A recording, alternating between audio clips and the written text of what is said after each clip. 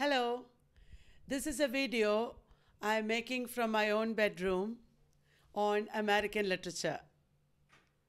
American literature is a pretty young literature compared to British literature. British literature began from the Greco Roman period or the Renaissance period and uh, it extended over 500 600 years. American literature, however, began very late. It was only in the end of the 15th century that Christopher Columbus discovered America. That was in 1492. Are you listening? So, 1492 is the year in which the New World was discovered. And after that, in the 16th and 17th centuries, there was a lot of migration into America. And this led to a settlement in the eastern side of the continent. Imagine that this is the American continent, this is where Europe is, this is Asia side, here is Atlantic Ocean, here is Pacific Ocean.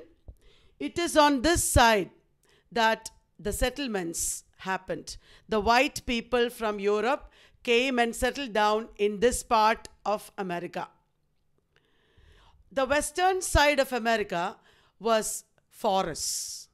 Red Indians lived there, and uh, the eastern colonists always dreamed that they will be able to go to the west and get money, freedom, equality. The 13 settlements in America started in 1607 with Jamestown or Virginia. Jamestown or Virginia, named after King James and before that Elizabeth I, was the first English settlement in the New World. After that, more and more colonies came into being, and finally, there were 13 colonies. In the 13 colonies, very important was New England, that region. It is not the name of a colony, it is the name of a region. And uh, the 13 colonies were all ruled by the British government. The British government imposed taxes on them and they, they were controlled by the government. In the 18th century, that is in 1770s, started the American War of Revolution. At that time, there was a very important leader in America. Can you tell me who that is? Benjamin Franklin. Benjamin Franklin, you must have heard in your school days. He was an important scientist physicist. Benjamin Franklin encouraged one Thomas Paine to emigrate from England to America. Thomas Paine came to America and wrote a very important book called Common Sense. This is in the 18th century. Common Sense, in a way, started the American Revolution the colonists were trying to resist or fight against the taxes imposed by the British government. It was Thomas Paine, in common sense, who told them that you should not only fight against the taxes, but fight against the government itself. You should try for complete freedom. So the common sense fired the revolutionary spirit. In 1776, the Declaration of Independence happened. America became free. The United States of America was formed. The 18th century was therefore the time of prose writers like Benjamin Franklin, Thomas Paine. Benjamin Franklin edited journals and also wrote a series of articles called, do you know the name of the articles? Busybody Papers. And Benjamin Franklin was a very important social leader. Thomas Paine, after Common Sense, wrote other books. In 1791, Thomas Paine wrote a book against Edmund Burke. Now, listen what happened. Edmund Burke was a philosopher in England. Edmund Burke wrote against the French Revolution. He argued that revolution is negative. Revolution is not going to bring positive changes. What he advocated was evolution. This Edmund Burke wrote in 1790. In 1791, Thomas Paine replied to Edmund Burke in the book called Rights of Man. It sparked a series of replies. Edmund Burke's book sparked a series of replies. Not only Thomas Paine's reply, but also a lot of other people wrote against Edmund Burke, such as Mary Wollstonecraft. Mary Wollstonecraft was the mother of Mary Shelley and wife of William Godwin. Vishant, are you paying attention?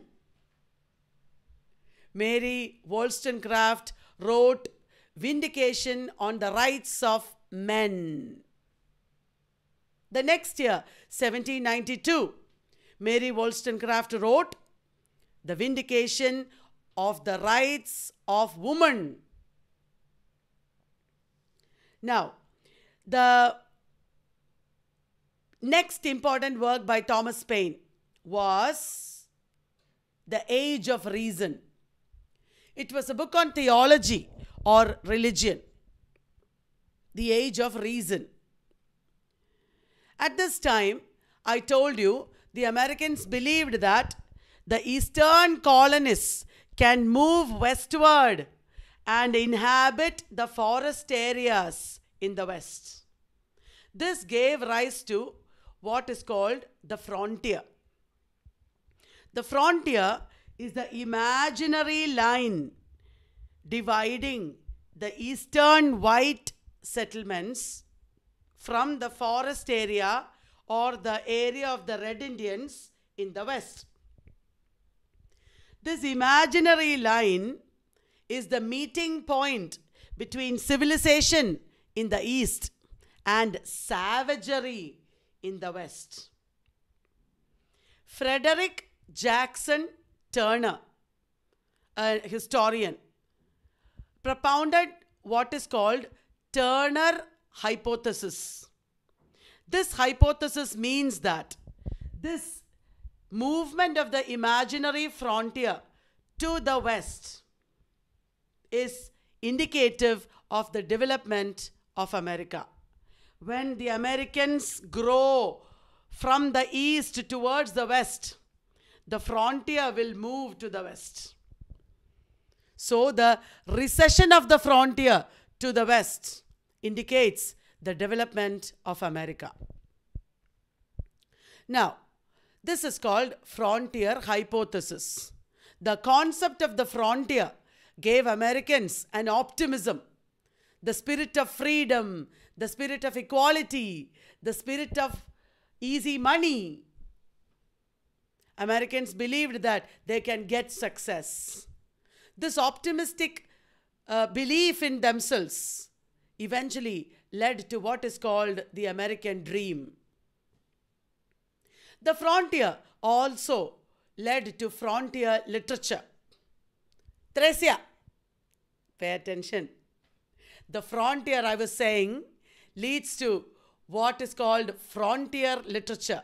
In frontier literature, there will be white people as well as red Indians living together. Hey, we should not say red Indians. They should be called Native Americans.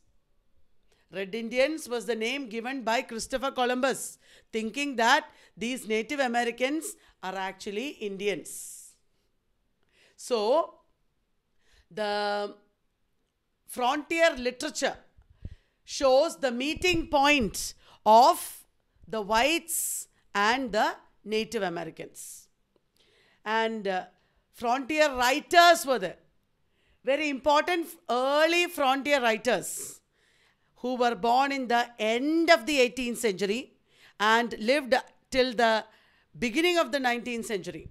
One was James Fenimore Cooper. Another person was Washington Irving. James Fenimore Cooper wrote what is called Asha, do you know? James Fenimore Cooper's very important series of works. Yesterday I said in Skype class. Leather Stocking Tales. James Fenimore Cooper wrote five leather stocking tales. The most important of these is the second one, The Last of the Mohicans. In all the five leather stocking tales, there is one white man, Natty Bumppo. He is living with the Native American tribes, sometimes helping them, fighting against some other tribes, etc. The Last of the Mohicans is a frontier novel. Washington Irving also wrote frontier literature. He wrote a series of short stories in a book called The Sketchbook. There, there are two important short stories Rip Van Winkle and The Legend of Sleepy Hollow.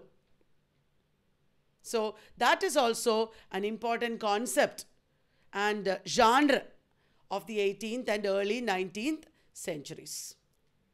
The 19th century in American literature is called the period of Romanticism, same as British literature. Is that clear?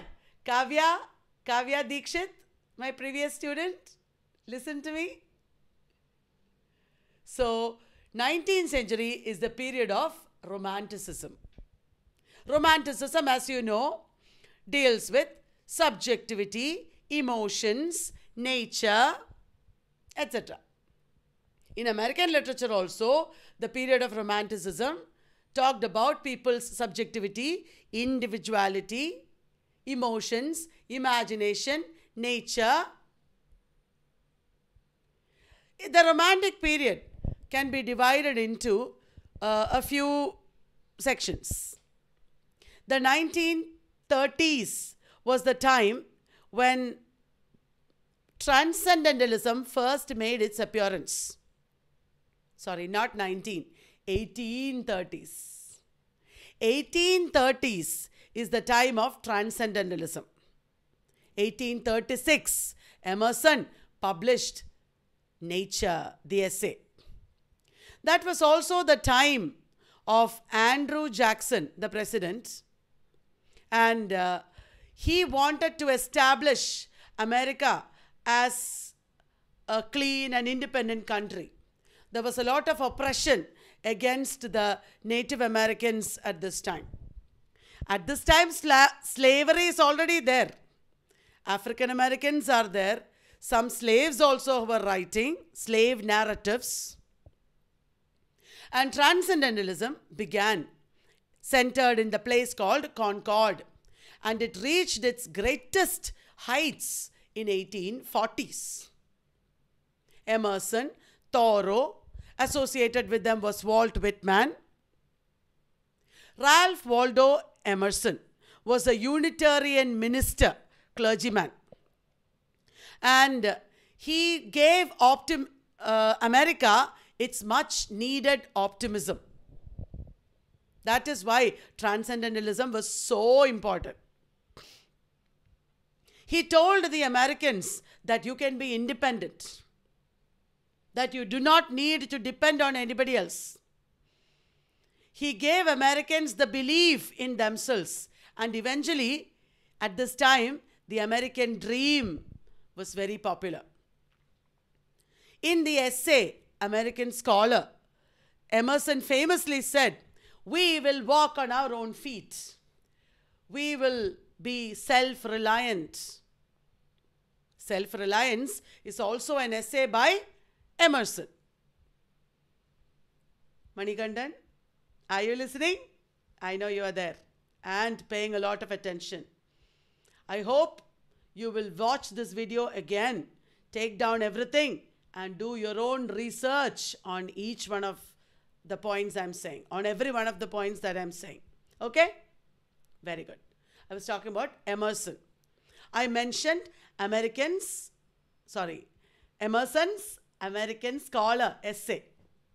And then I mentioned the essay Self Reliance. Emerson believed that every human being is a microcosm of the divine power or God. He was here influenced by the Hindu concept or Indian concept of Paramatma. Paramatma is the oversoul. Every human being is an expression of the oversoul. Emerson was also influenced by other Eastern philosophies like Zen Buddhism, Confucianism, etc. Emerson also wrote poetry. Emerson wrote the very famous poem Brahma. Please look up Emerson's works. Very, very important. Thoreau was a younger contemporary of Emerson. And Thoreau did one experiment with himself. In order to experiment with self reliance, Thoreau went and lived in a lonely area near Walden Pond without depending on anyone. Completely lonely, he was there. And he wondered how a human being can depend upon himself and live.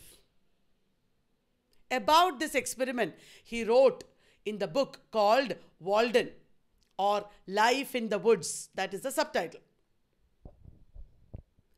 Thoreau wrote a very major essay about something that happened during this life near Walden. 1840s, early 1840s, that is when he lived there. Two years he lived there. There was a tax that the government imposed on the people at that time. Emerson refused to pay that tax because he said, I will not support a government that supports slavery. At that time, I told you there was slavery. The northern states in America uh, were industrial, the southern states were agricultural. The southern states employed slaves. The southern aristocratic families employed slaves. The northern states was, were against slavery. There was in the northern states of America what is called abolitionism or the attempt to abolish slavery at this time. Thoreau supported abolitionism and Thoreau refused to pay the tax. The government imprisoned him briefly. Do you know the essay that Thoreau wrote about that experience? Civil disobedience. Lalita, are you there? Civil disobedience, have you read? It is an often prescribed uh, essay in syllabi in universities. You should read it. Okay, Lalita? Very good. Thoreau uh, was a transcendentalist like Emerson, and Emerson and Thoreau influenced Walt Whitman. Walt Whitman was like the voice of America. He upheld democratic values like individualism, democracy. I meant Walt Whitman upheld American values like individualism, democracy, and he believed that all human beings are one. There was only one major collection that he published in his lifetime. That was the 1855 collection. Tell me the name. 1855 collection. Leaves of Grass. Yes. And in that book, there are very major poems like Song of Myself, When Lilacs Last in the Dooryard Bloomed. That is an elegy for Abraham Lincoln. And uh, Then there was another, a series of elegies actually that he wrote for Abraham Lincoln. Another famous elegy that you probably know is, O Captain, my Captain. Crossing Brooklyn Ferry, another important poem by Walt Whitman. A Passage to India. Then, uh, Walt Whitman belonged, I mean, his Leaves of Grass belonged to the age called American Renaissance. That is 1850s. Before that, there is something that happened in 1840s itself. What was that? Something was discovered. Do you know? Near California. Gold. The California gold rush happened in the 1840s. Gold was discovered in the soil in California near the river. At first, people just picked it up. Later, they began digging and extracting gold from soil.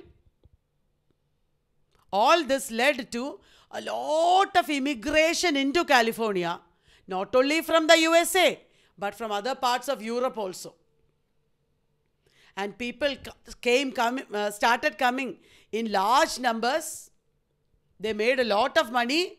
At the end of the decade only, the government put an end to it. The government said, Array, this is our money that the people are taking. It is our goal. Government should control this, they realized at the end of the 1840s. So the California gold rush gave the Americans a lot of belief in success, in money, easy money, in freedom. You can go to the West because California is in the West and make money, they thought. All this gave them an optimistic idea. What is that called? What dream? American dream.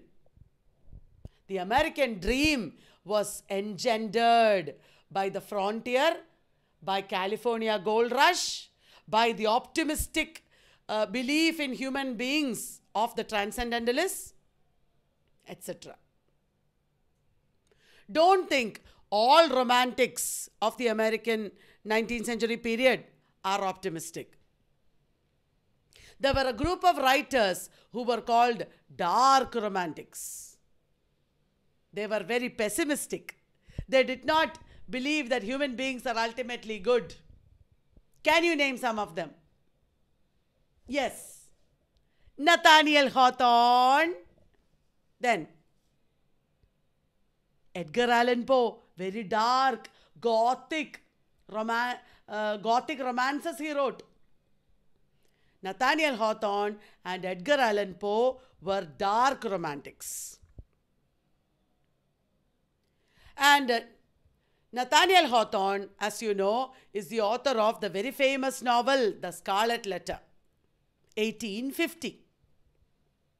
The very next year, Herman Melville, his friend, wrote Moby Dick. The 1850s was a time when a lot of brilliant uh, works were written in American literature, such as Leaves of Grass also. Emerson wrote a representative, representative men at this time. American Renaissance, it is called 1850s. The name actually came from a book by F. O. Matthiessen. American Renaissance is a book by F. O. Matthiessen. And during this time, Nathaniel Hawthorne wrote many important works. The Scarlet Letter, The House of the Seven Gables, The Marble Faun, Blithedale Romance. Blithedale Romance was written against the Transcendentalists. The Scarlet Letter is the novel that is called one of the pillars of American literature. It is the story of one Hester Prynne, a small young girl, a woman, young woman, who was sent away from, uh, from Amsterdam by her hus- husband. And she went and lived alone in Boston. Boston is in the area called New England. And there she was alone, helpless. So she fell in love with a man, somebody we don't know, and got an illegitimate child. At the beginning of the novel, she is tried for adultery. She is made to wear a scarlet or red letter A on her dress. A for adultery, adulteress. Poor Hester Prynne. She has to live away from the rest of the people, close to the forest, and bring up her child, Pearl. She suffers a lot, but it also turns out that she's a wonderful woman. She's helping everybody, she's very able. And you can't just blame her. The rest of the society in Boston is also not so good. One powerful woman in the society, Mistress Hibbins, she is worshipping the black man or devil. In the strict Puritan society of Boston, only Hester Prynne is regarded as evil.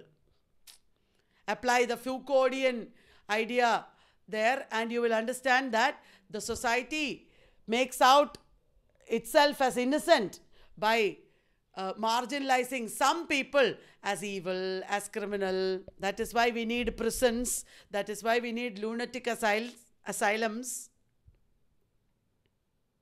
So, Hester Prynne, by the end of the novel, wins our sympathies. The father of her child turns out to be a clergyman. Do you know his name? Tell me his name. Raja, do you know? Arthur Dimmesdale. Arthur Dimmesdale is a clergyman.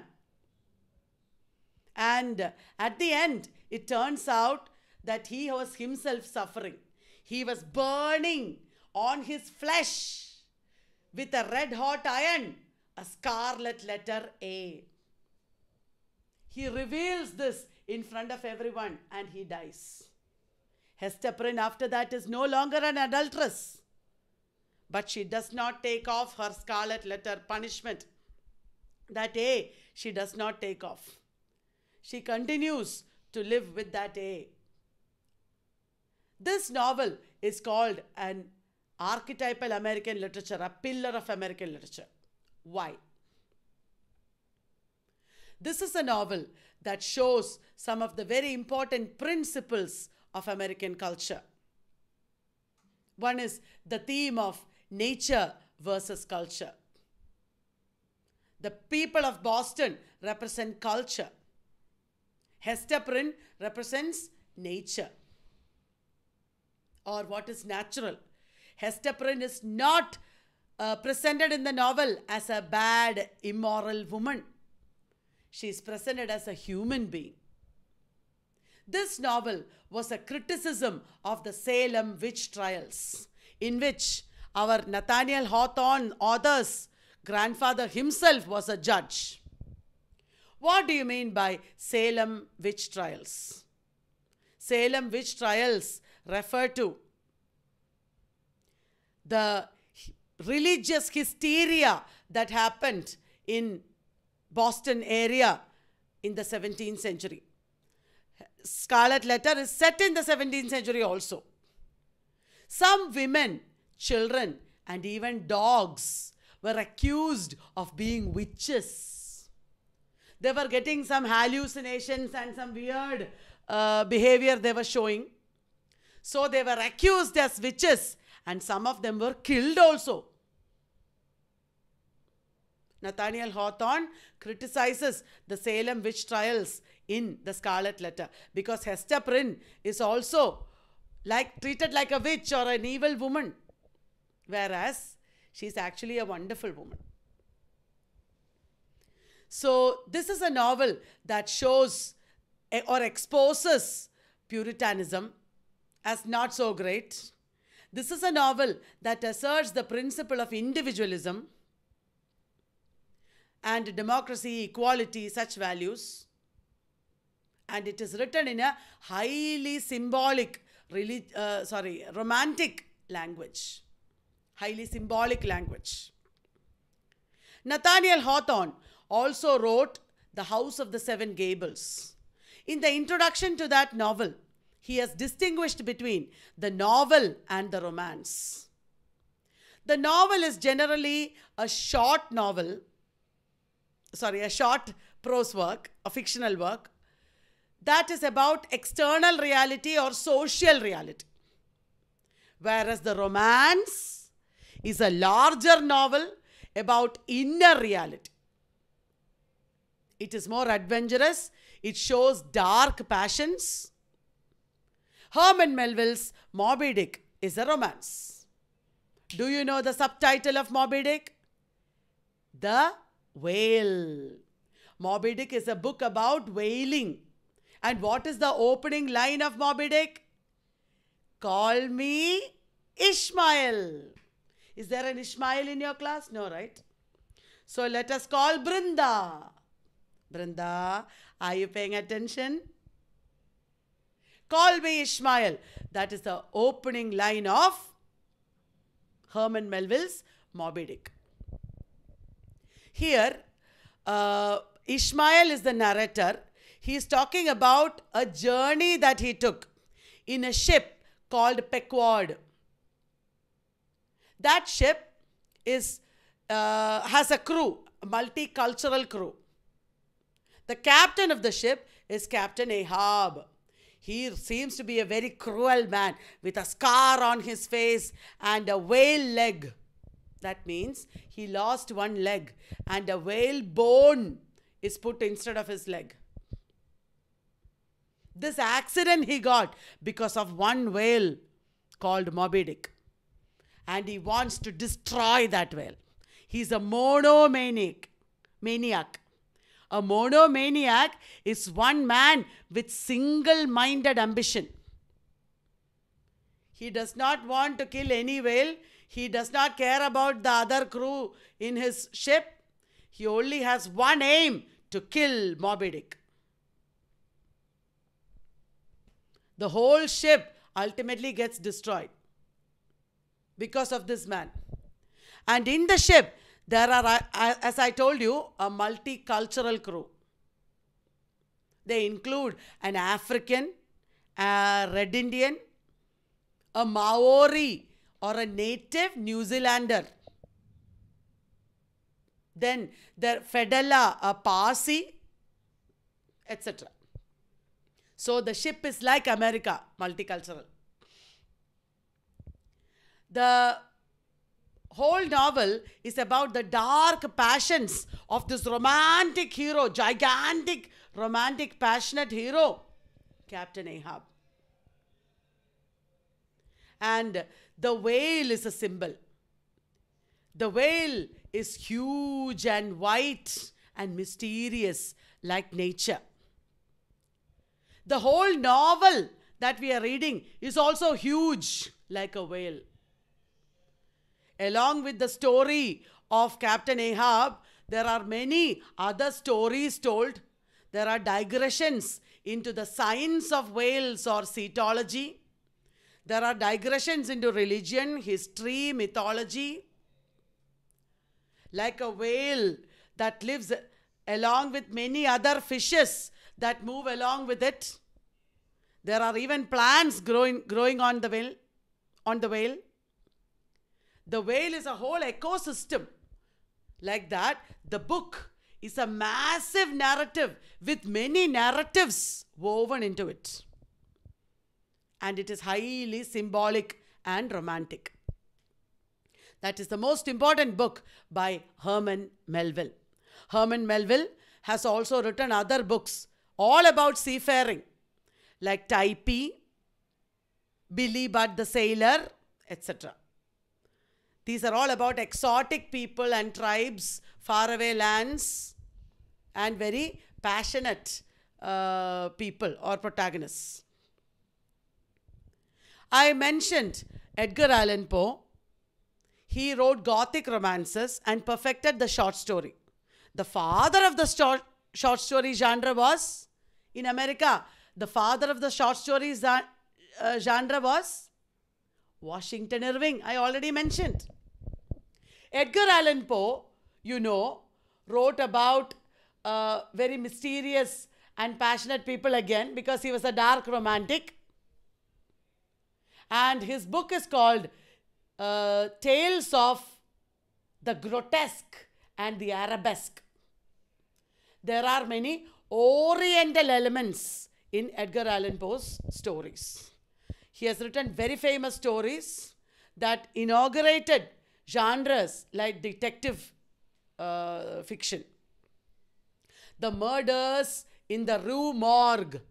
That is a major story by Edgar Allan Poe that is supposed to have started the detective fiction genre. Other important stories by Edgar Allan Poe include The Oval Portrait, The Pit and the Pendulum, The Fall of the House of Usher, etc. Poe was also a poet. You know, he wrote the poem The Raven. It is about a, a young student. He has lost his girlfriend or sweetheart, Lenore. There is a raven coming and sitting at his window, and he talks to the raven. The raven keeps replying, Nevermore, nevermore, nevermore, nevermore, nevermore. Every time he says never more, the trauma of the student increases. Ultimately, it's like he goes mad. Edgar Allan Poe, in the essay The Philosophy of Composition, has written about the composition of this poem. To Helen, uh, to Science, these are Al Aaraaf, A Palace. These are other poems by Edgar Allan Poe. Another very dark poet during this time who wrote about death, immortality, short, short poems. Do you know the name? Do you know the name? Emily Dickinson. Emily Dickinson was a reclusive poet. She lived alone, not alone, she lived in loneliness. And she had very few friends. And she wrote a huge number of poems 1700 poems or something. Out of which only 11 were published in her lifetime. So, Ed, uh, Emily Dickinson was a reclusive poet and she was called the Nun of Amherst. Can you name some of Emily Dickinson's poems? Uh, whom shall I call? Jayashri. Emily Dickinson's poems. Because I could not stop for death, he kindly stopped for me. I heard a fly buzz when I died. A bird came down the walk, safe in their alabaster chambers, etc. Emily Dickinson talks about death fearlessly, as if he is a lover or suitor, as if it is only a transition between two states of existence. She talks about immortality. She talks about pain. She wrote very brilliant poems. Each poem is like a gem. Have you read Emily Dickinson's poems? Today itself, you should read. So that is the 1850s. The 1860s in America is a very momentous period. In 1860, Abraham Lincoln, the Republican politician, became the President of America.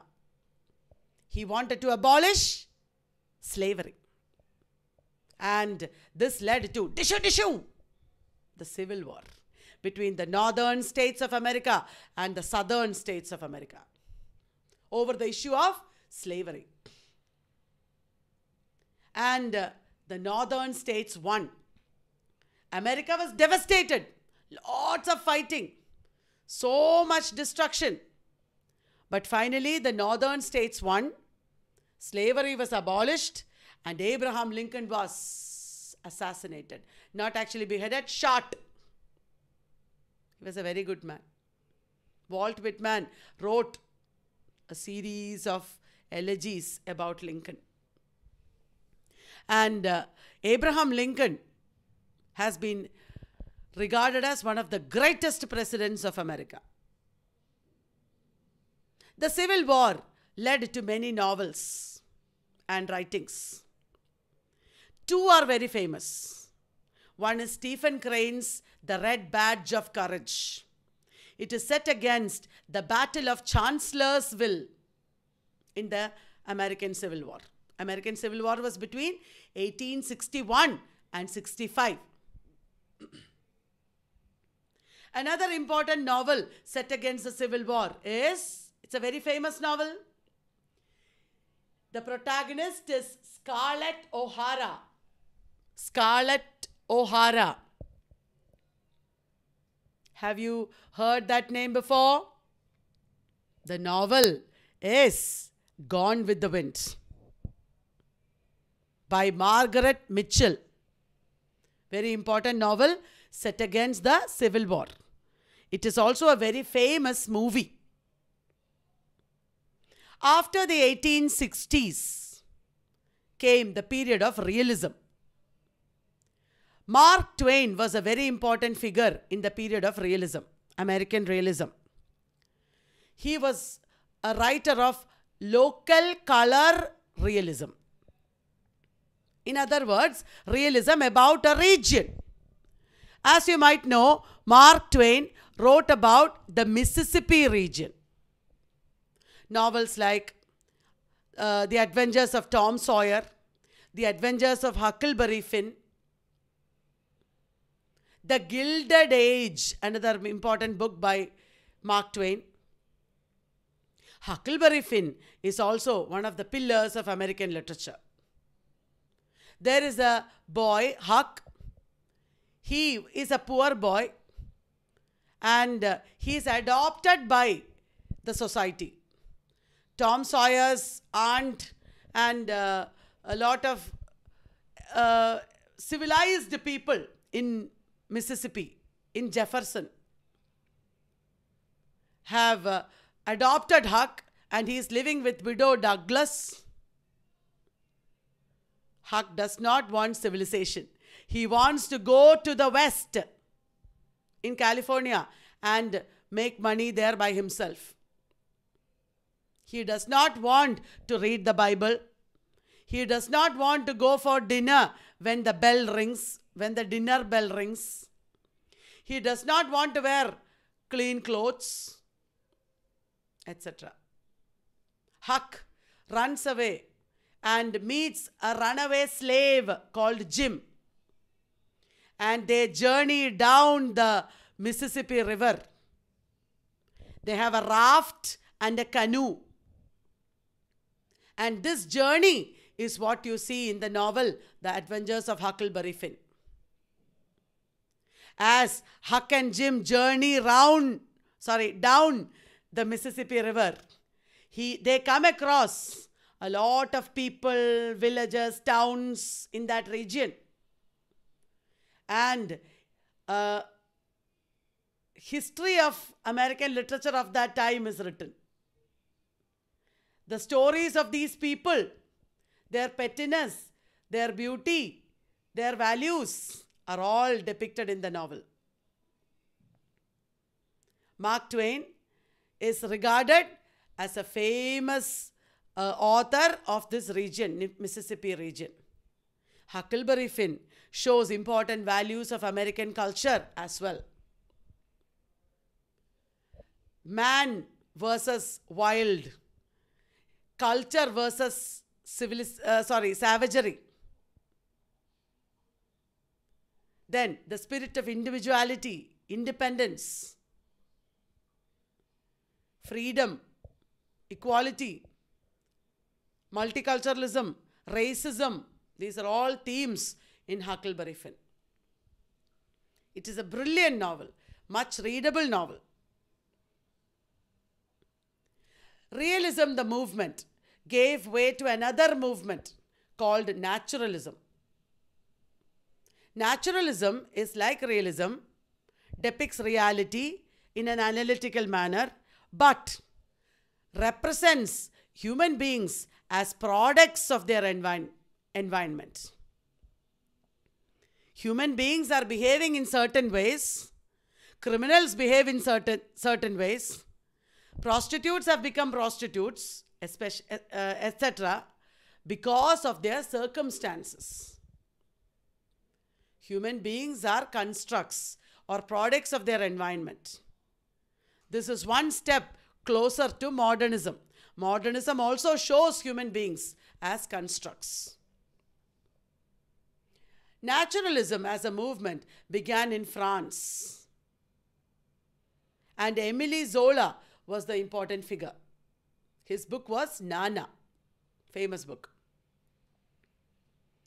In America, there were famous naturalists like Jack London, who wrote The Call of the Wild and its sequel, White Fang. Call of the Wild is the story of a dog called Buck. He was petted and pampered and grew up in a household. He is uh, stolen from his family and taken to Klondike Gold Rush region in Yukon County. There was the Klondike Gold Rush. There, he is taken and made to pull sledges. There, he slowly comes into contact with the wilderness. The wild animal inside him wakes up. Eventually, he becomes like a wolf. He begins to kill and hunt like a wolf, and he becomes the leader of a pack of wolves. All of us human beings are like Buck. We should turn into supermen and superwomen, like Buck turned into a wolf. Other naturalists in America were Theodore Dreiser. He is the author of the massive novel An American Tragedy. Frank Norris, Stephen Crane. Stephen Crane, I already mentioned. He's the author of The Red Badge of Courage. He's also the author of The Open Boat. Stephen Crane often wrote about very adventurous situations. He went and lived in such situations and wrote about them.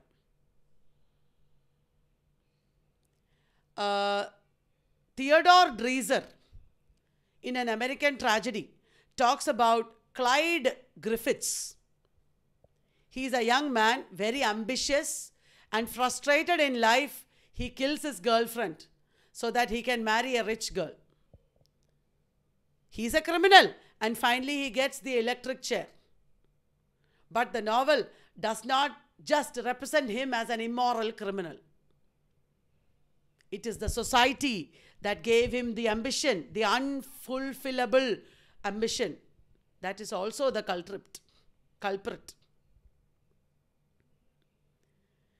Uh, Clyde Griffiths is not judged